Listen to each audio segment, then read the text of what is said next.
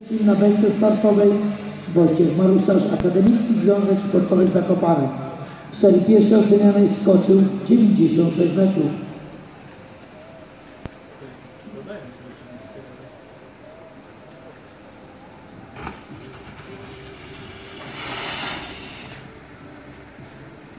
Dziewięćdziesiąt metrów skoczył Wojciech Marusarz.